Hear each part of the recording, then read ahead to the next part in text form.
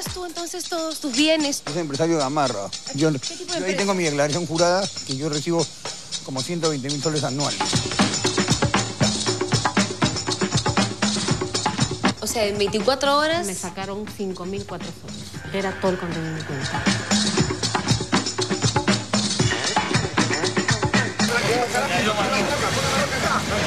No me cajón la marroca ahí. No me hagas esto, tarjeta, loco.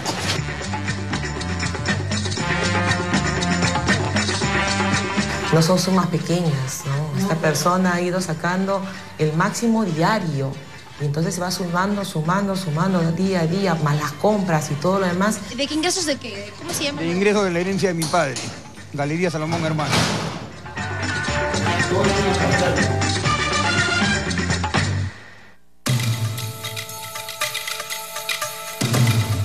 Cinismo hoy es confrontado con la indignación de sus víctimas. Es injusto que un sinvergüenza viva como rey tirándose la plata del resto, ¿no? Jaime Salomón Villalobos no tendrá corona, pero para la policía su larga trayectoria en el mundo del AMPA lo hacen merecedor al título del rey de los clonadores de tarjetas. Él sería el monarca regente de una organización multinacional que opera no solo en el Perú, sino en América Latina desde los años 80, con completa impunidad. ¿Cuánto dinero sustraía él en un promedio mensual o anual? digamos que promediando, pues estamos hablando pues de unos 30 mil a 50 mil dólares mensuales. Pero la semana pasada, los cimientos de su palacio sintieron el remesón de la policía y su majestad, el tío Jimmy, fue derrocado de su trono a pesar de sus mañosos intentos por burlar al borde de las lágrimas la ley. Ayúdame, Robert, por favor. Causita, causita. Allá vamos a coordinar, ¿está bien? Pero acá de una vez, papá, no me vas a cagar. Pero como te iba a Miraflores por la web, vamos a arreglar, esto acá. ¿Cuánto necesita que lo arreglamos? Dime. A continuación, en este reportaje, ¿quién es en realidad el tío Jimmy? Conozca cómo operaba para despojar a cientos de personas de los ahorros de todas sus vidas y sepa qué elementos finalmente terminaron por delatarlo. Causita, ya, pe, bro, no sean así, pe, causa. Puta, me tienes en una locura así, ya, pues, acá loco, ya, pe. ¿Qué pasa? Ni que uno fuera delincuente, loco, yo no soy delincuente, yo soy un señor, brother. Como todo un señor, así se describía Jaime Salomón Villalobos al momento de su captura el pasado viernes 5 de octubre. Esta semana continuó resistiéndose a aceptar la realidad de un futuro en la cárcel y se refirió a sí mismo como un empresario gamarrino y un magnate millonario que heredado una fortuna familiar. Pero en realidad, este colonizador del dinero fácil no tiene un centavo a su nombre y todas sus posesiones han sido adquiridas con mañosa destreza, haciendo usufructo de la riqueza ajena por montos que para la policía hoy son incalculables. No hay valor. ¿Qué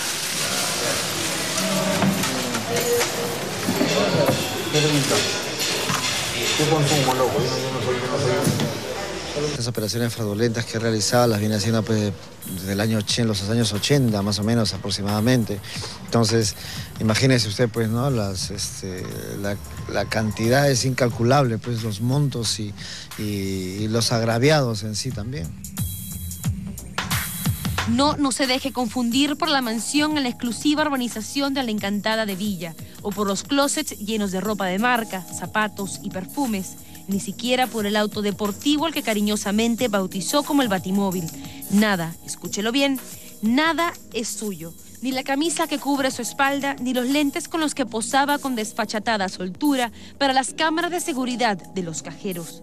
La mayoría de sus propiedades que él ha adquirido están a nombre de terceros, ¿no? Estamos tratando de evidenciar eso con el Ministerio Público y establecer, pues, este, cuál será el fin. El principal inculpado, el principal involucrado es él. Además de lujos, en la casa de Salomón Villalobos, la policía encontró toda una maquinaria instalada para el delito.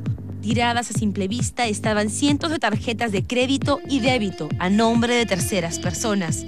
Tarjetas en blanco listas para ser impresas. Laptops, memorias, aparatos POS y skimmers fraguados con los que con argucia él y sus socios recolectaban la información bancaria que alimentaba su red criminal.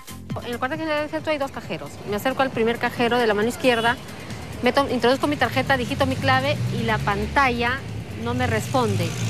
hago la cancelación y jalo mi tarjeta. Pero al jalarla siento que se atraca y la jalo con fuerza y me dirijo al siguiente cajero. Ahí hago mi transacción, retiro 400 soles y me voy. Al día siguiente me saca 1500 soles. El tío Jimmy clonó la tarjeta del esposo de Roselena Wong en junio del año pasado, pero el paso del tiempo no altera su vívido recuerdo de ese amargo hecho.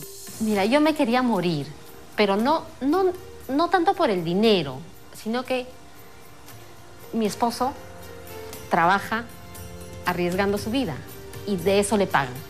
Entonces, era, yo sentía una impotencia de que haya gente tan sinvergüenza que se gaste la plata así, tan fácil, y mi esposo arriesga su vida todas las veces que va al BRAE.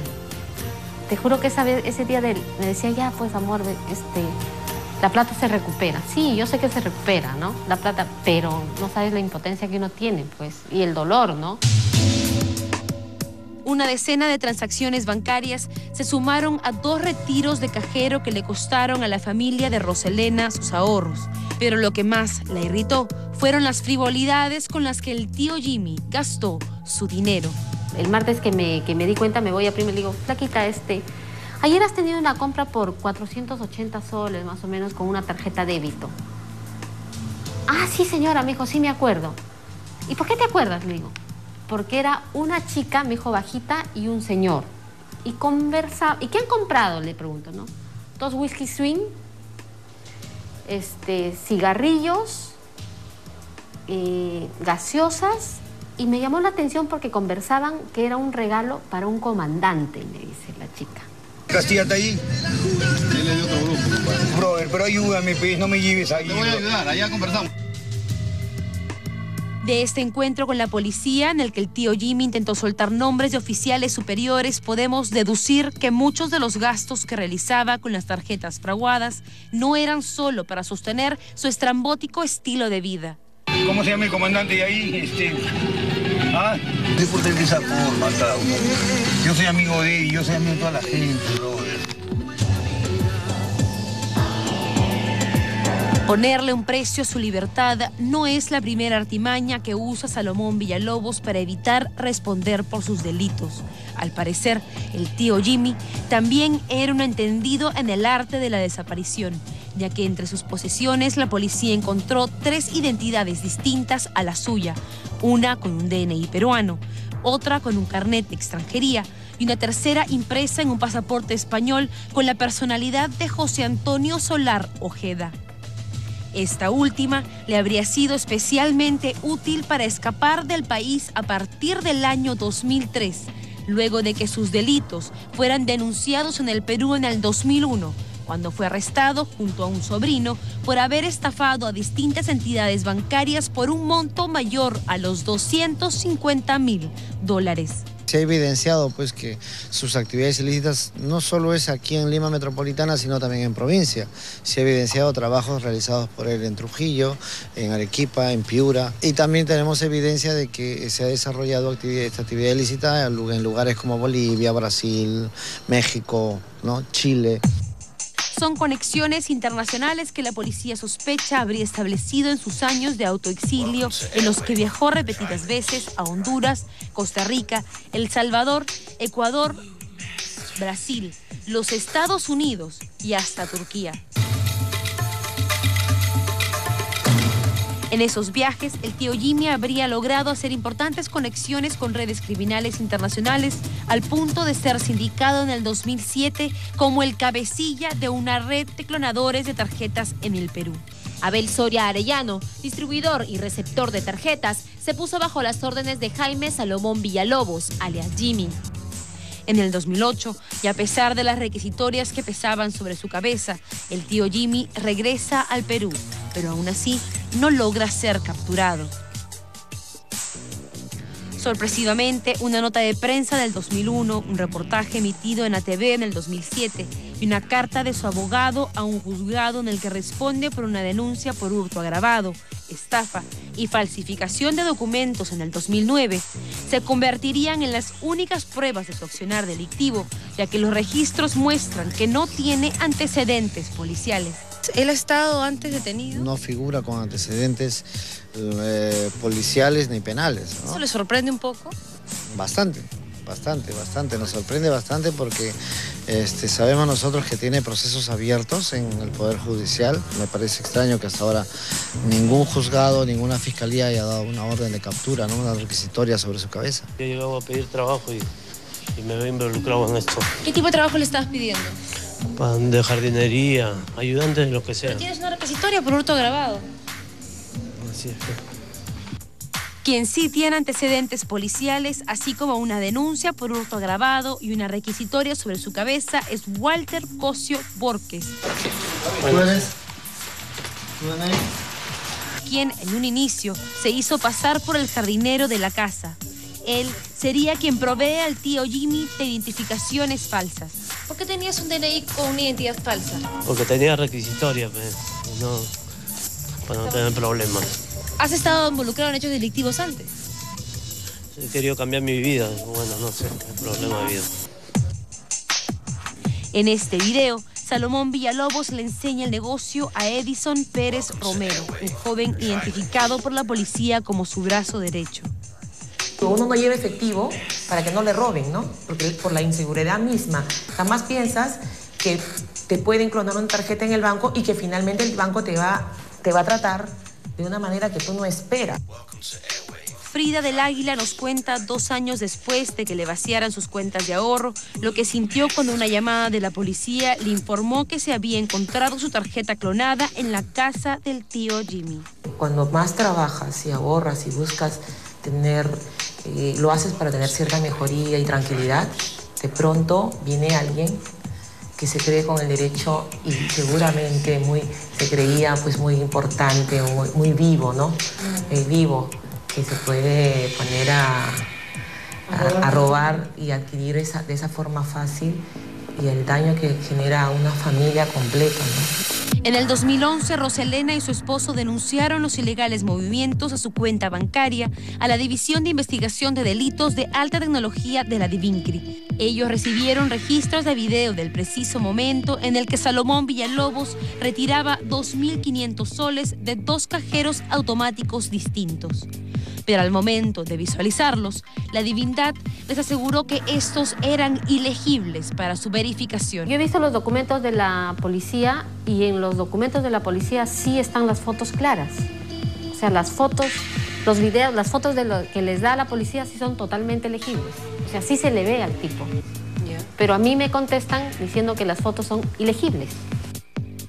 Finalmente, videos similares, pero con menos tecnología disponible para su identificación, fueron los utilizados por la comisaría de Miraflores para dar con Salomón Villalobos. Luego de recibir distintas denuncias por fraudes bancarios, investigadores de la comisaría de Miraflores dieron con la identidad del tío Jimmy. Luego de contrastar su información de inteligencia con la de otras unidades de la policía, dieron también que desde que él se mudó a esta casa en la urbanización de la Encantada de Villa, han ocurrido 16 robos a casas con el único objetivo de sustraer sus laptops. ¿Coincidencia? La comisaría de Miraflores consideró que no y decidió desarticular este caballo de Troya que se escondía debajo de nuestras narices desde hace varios meses. Tío Jimmy y su cómplice deberán permanecer en la comisaría de Miraflores hasta el martes cuando culmine la investigación policial. En la última semana, decenas de agraviados que lo han reconocido en nuestras pantallas se han acercado a denunciarlo con la esperanza de acabar de una vez por todas con su incomprensible e injustificada impunidad. Ya lejos de sus comodidades y de poder ejercer sus influencias, con su rostro en el centro de la tormenta, Solo podemos esperar que esta vez Salomón Villalobos pierda ese privilegiado anonimato que le ha llevado a alzarse como un monarca que actúa por encima de la ley.